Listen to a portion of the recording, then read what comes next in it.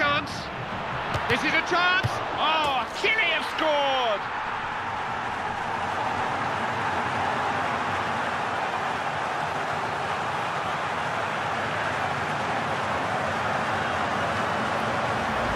Was the keeper to blame there? I don't think so. I, I think you have to credit the striker, Clive. It really is smart work from him.